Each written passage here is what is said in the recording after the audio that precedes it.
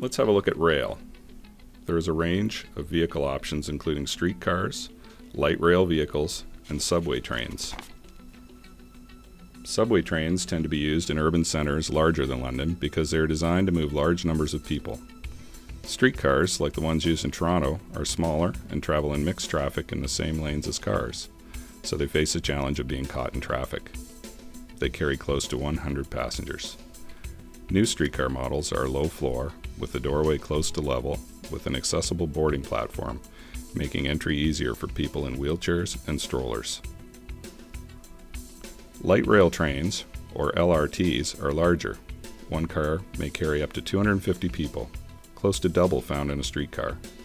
Several LRTs can be coupled together to carry close to 1,000 people. LRTs normally run in a dedicated lane to ensure they are on time and can move quickly. In major urban centers, they can operate on a schedule of one LRT every three minutes.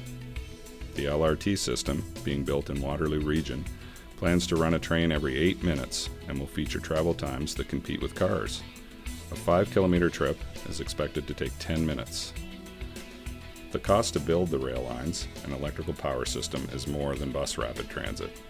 Construction, including the track and power system, is at least $30 million per kilometer, and LRTs cost at least $4 million per vehicle. They are powered by electricity and produce lower emissions in greenhouse gases.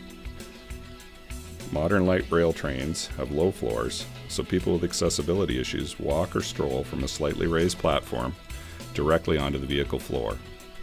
They will provide a modern, comfortable ride.